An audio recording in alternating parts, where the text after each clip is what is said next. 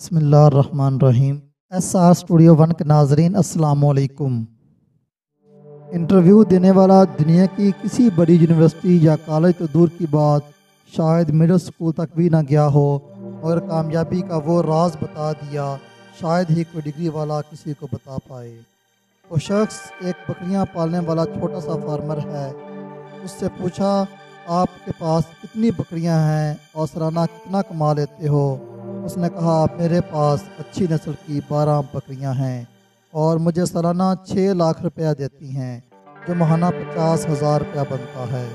मगर camera man ने जब बकरियों का रेवड़ देखा तो उसमें तेरह बकरियाँ थीं।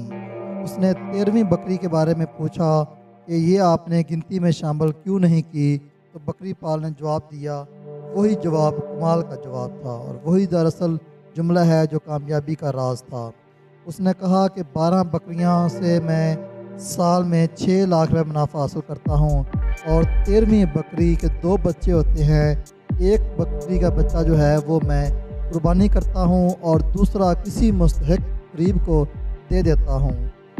इसलिए ये बकरी मैंने गिनती में शामिल नहीं की। गोया तेरहवीं बकरी बारह बकरियों की मुहाफ़ है और पैसे खैर बरकत है। यकीन करें, ये कोई मामूली बात नहीं है। दुनिया के बड़े बड़े फ़िलासफ़ों के फलसफे एक तरफ़ और इस बकरी पाल पालने वाले नौजवान का जुमला एक तरफ़ अपना बड़ा मुकाम रखता है। दुआ है कि अल्लाह पाक हम सबको अपने अमान में रखे और इस बकरी वाल नौजवान की तरह अपनी हलाल कमाई में से अल्लाह की राह में खर्च करने की Amen.